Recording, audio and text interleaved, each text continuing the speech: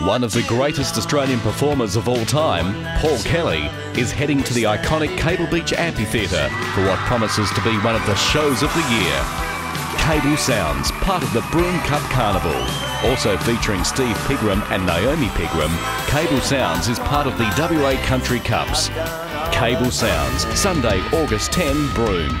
Tickets on sale now from Ticketmaster and the Broome Visitor Centre.